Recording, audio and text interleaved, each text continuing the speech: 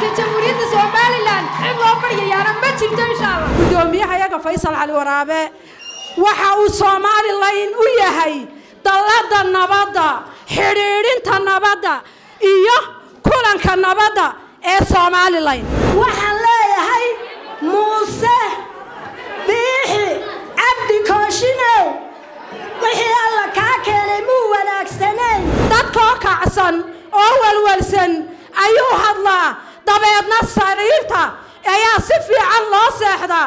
Fadhigana waa lagu gamaa. Hadalka faysal cali waraabe.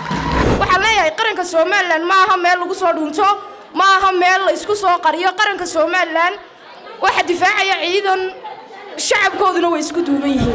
Waxaannu leenahay waa nasiib darro. In dal midaysan iyo dad midaysan aad maanta afkiina ku kala qaybisaan magaalada hargeysa waxaa lagu qabtay xaflad ballaadhan oo ay soo abaabuleen xisbiga mucaaridka ucid taasoo lagu taageeraya khudbaddii dhowaan jeediyey guddoomiyaha xisbigaas ucid injineer faysal cali waraabe islamarkaana uu kaga hadlayay xaaladda dalka. Mas'uuliyiin iyo sidoo kale taageerasha xisbiga mucaaridka ee ucid howlkaasi buuxdhaafiyey ayaa dhammaantood waxay taageer weyn u muujiyeen guddoomiyaha iyagoo sheegay in ay diyaar u yihiin difaacidda qaranka somalilan dhammaan dadkii kala duwanaa ee halkaasi ka hadlay ayaa waxaa ka mid ah hadalladoodii aynu ka waranno muddooyinkii ugu dambeeyey amba shantii sanne madaxweyne muuse biixi uu madaxweynaha ka ahaa. Runtii dalka wax badan baa ka qaldamay. Taasina marka la eego. Kuma koobna runtii dhammaan jamhuuriyadda somalilan laakiin xukuumaddii kulmiyee dhalatay ee muuse hogaaminayay shanta sanno loo dhiibay ayaa dalkii halkan aan maanta joogno gaadhsiisay. Marka guddoomiyaha xusbiga cadaaladda iyo daryeelku isagoo waddanka lexejeclo badan ka leh isagoo xusbiga maanta uu guddoomiyaha ka yahay uu yahay xusbigii ugu horreeyey ee qarannimada somalilan inta ugu faraha badan ka hadla runtii marka la eego qarannimada somalilan xusbiga keliyaate ku astaysani waa xusbiga cadaaladda iyo daryeelka ee ucid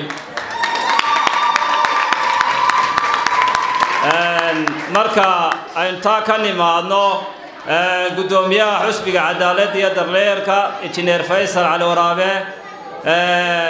Intii ay jireen nidaamka xusbiyada badani dalkan wax badan iyo duruufo badan oo ku gadaanaa ayuu ka soo saaray. Hadday noqoto ilaa laba kun iyo saddexdii markii ay ula tartamay madaxweyne riyaale iyo axmed maxamed siiraanyo iyo guddoomiyaha xusbiga cadaaladda iyo daryeelka oo xilliga musharax ka ahaa xusbiga cadaaladda iyo daryeelka ucid ilaa maalinka maanta aan joogno guddoomiyuhu in badan oo dalkan uu galay xaalad adag ayuu ka saaray. Xaaladaha adag uu ka saarayna jamhuuriyadda somalilan oo dhani waxay u ahayd markhaati ka ahayd. Hadalkeennu ambase xafladdeennan waxa ay caawa daaran tahay waxa ka taagan dalka somalilan ee bari ee walaalaheenna maanta colaadda iyo dagaalka loo soo dhiibay ee loo soo kaambakaambeeyey ee lagu soo jideeyey dalkoogii iyo dadkoogii ay maanta wax ku ahaayeen ee walaalnimadooda iyo waxqabadkooduba ay qaaliga ku ahayd. Ee annaguna xukuumadda somalilan ay aad u jeclayd iskana ilaalinaysay ururinaysay ee xubin annaga naga mida ahaa. Waxaan u sheegaynaa haddaanu nahay xusbiga cadaaladda iyo daryeelka cadowga nagu soo duulay ee na soo gacangeliyey inaanay u suurtogelaynin una soconaynin wax jiraya oo soconayana aanay ahayn. Soolla ay tahay somalilan xubin ka mida oo qaaliya.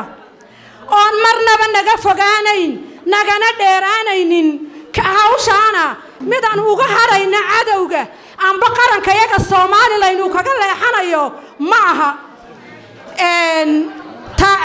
Xusbiga cadaalad iyo dayeelka guddoomiyaha yaga faysal cali waraabe waxa uu somalilan u yahay dallada nabadda xidhiidhinta nabadda iyo kulanka nabadda ee somalilan iyada oo maanta midka keliya ee lagu higsado ee hididiilo laga helo marka uu helo uu hadlo dadkoo kacsan oo walwalsan ayuu hadlaa. Dabeedna sariirta ayaa si fiican loo seexdaa fadhigana waa lagu gamaa hadalka faysal cali waraabe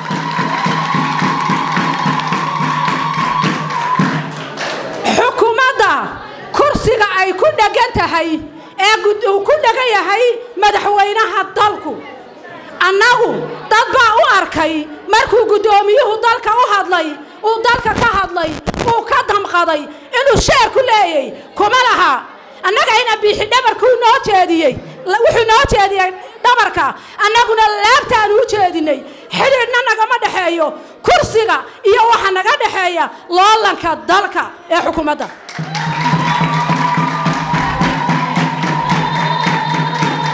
Waxaan leeyahay bahweynta u cid. Innagu waxaynu nahay qaranka somalilan waxaynu nahay dalladda somalilan waxaynu nahay isujiidka somalilan ciidankayaga qarankana waanu taageeraynaa waanaanu garab taagannahay anigoo ah guddoomiyaha degmada maxamuud haybe ee xisbiga cadaaladda iyo daryeelka wicid xafladdani caawa waxa ay taageersan tahay waxa aannu caawa taageersannahay annagoo ah dhallinyarada haweenweynaha u heellan xisbiga cadaaladda iyo daryeelka wicid guddoomiyahayaga ruuxiga injineer faysal cali xuseen taageeraddii uu taageeray ciidanka qaranka jamhuuriyadda somalilan. Sida aynu ognahay ciidanku waxa weeyaan lafdhabarta iyo horumarka jamhuuriyadda somalilan. Ciidan la'aanta waxa weeyaan wax allaala wax horumara oo aynu gaari lahayn. May jirteen. Halkan waxa aan ka cambaaraynayaa maamul goboleedka puntland iyo argagixisada ku dhumanaysa dagaalka laascaanood dadka dadka reer laascaanood waa dad walaalaa waa dad waxa weeyaan wax allaala wax godobi aanay ka dhaxayn. Dad waxa weeyaan necab jiritaanka iyo jamhuuriyadda somalilan ayaa ku soo hoos dhuuntay dagaalkii laascaanood ciidankeenna jamhuuriyadda somalilan ciidankeenna jamhuuriyadda somalilan aynu ku garab istaagno sidii huwanta looga saari lahaa gobolka sool. Hawsha halkan la iskugu yimi waynu garanaynaa dhammaanteed waa laba qodob inaynu qarankeenna reer somalilan iyo ciidankeenna indifaacno aynu u muujinno taageero hiil iyo hooba leh. Markaa aanoon ku dheeraan haynin hadalka laba qodob un baan odhanayaa.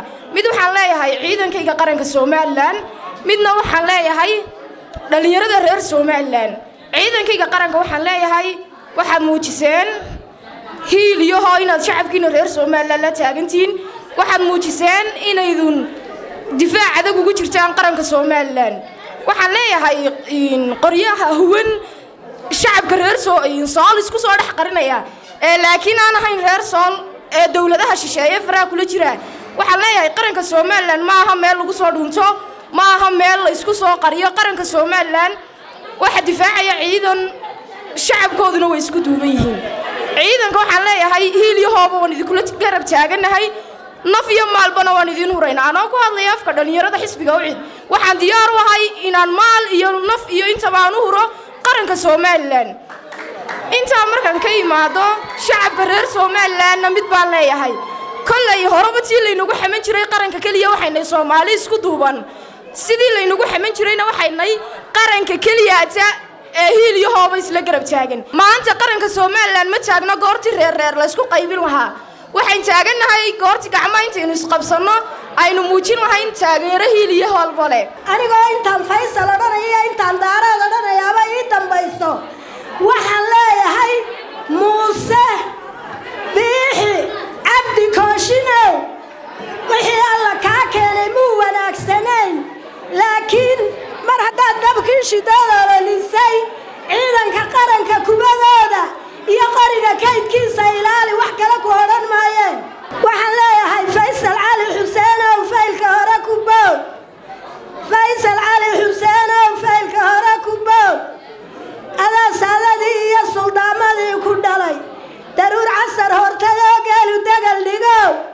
mahigaanta oo dunida maansheeyayow magaaloo curatay oo maati deeqdayow mudaniyo marwaba laga mabsuudayow ilaa goroflagadka gaawaha malaastayow mudana dalmaseeye faysalow oo guulla kuu gargaaro.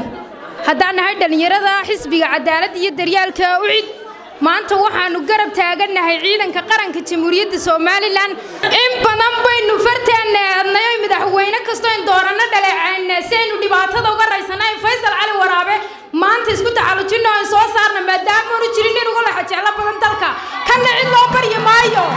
Calanka jamhuuriyadda somalilan cid loo baryayaana ma jirto insha allah waxa caawa xaggan ku kulmay maamulka gobolka maroodijeex garabka haweenka garabka dhallinyarada iyo guud ahaan mas'uuliyiinta xisbiga ucid waxaannu xaggan ka akhriyi doonnaa nuxurka iyo communicationka ka soo baxay kulankeenna inaanay xaggan iskugu imanay. Ugu horrayn waxaannu si buuxda u taageersannahay haddaannu nahay qaybaha kala duwan ee xisbiga ucid shirkii jaraa'id ee guddoomiyaha xisbiga ucid injineer faysal cali waraabe uu qabtay kaasoo uu kaga hadlay xaaladda guud ee dalka. Oo dhinacyo badan taabanaysa. Hadday noqoto taageeridda iyo difaacidda qaranka jamhuuriyadda somalilan fashilka xisbiga kulmiye iyo dhammaan khudbaddu ka hadlay guddoomiyaha cadaaladda iyo daryeelka inaanu si biixda u taageersannahay. Qodobka labaad waxaannu xaggan ka tacsiyadaynaynaa haddaannu nahay mas'uuliyiinta kala duwan ee xisbiga ucid bulshada rayidkaa reer laascaanood iyo ciidanka qaranka ee ku dhintay dagaalkii ka dhacay magaalada laascaanood.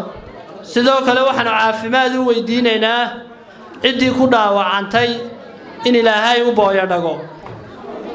Haddaannu xisbiga ucid nahay waxaannu cambaaraynaynaa sida fashilka ah ee muuse biixi iyo kooxdiisu u maamuleen kacdoonkii dadka rayidka reer laascaanood ku doonayeen sidii wax looga qaban lahaa dilalka isdabajoogga ah ee ka dhacay magaalada laascaanood taasay ku guuldaraysatay xukuumadda xisbiga kulmiye. Xukuumadda muuse biixi iyo xisbiga kulmiye waxay shacabkii soo doortay iyo dadkii midaysnaa iyo dalkii midaysnaa ee loo dhiibay u kala qaybiyeen laba qaybood oo iyagu u magac bixiyeen taasoo yidhaahdeen waa cadowga gudaha iyo cadowga dibadda. Waxaannu leenahay waa nasiib darro in dal midaysan iyo dad midaysan aad maanta afkiina ku kala qaybisaan. Waxaannu taageero u muujinaynaa haddaannu nahay xisbiga ucid ciidanka qaranka jamhuuriyadda somalilan ee hadhiyo habeenba u taagan ilaalinta difaaca qaranka hirgelinta himilooyinka jamhuuriyadda somalilan ayaan iyagana taageero u muujinaynaa waxaannu leenahay berberkiina ayaannu taagannahay jiritaanka iyo qarannimada somalilanna waa lama taabtaan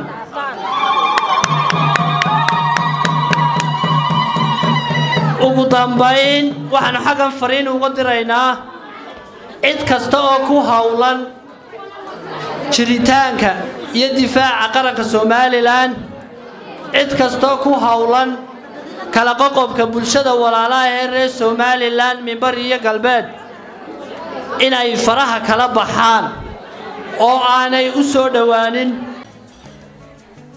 واو واسبوع كيسو في عايز صاحبي waad ka heshay sooma ما شاء الله seex maxaad ku shubatay waxaan ku shubtay xidhmo furan. Toban dollar baad ku shuban kartaa shan baad ku shuban kartaa shan iyo toban baad ku shuban kartaa labaatan baad ku shuban kartaa.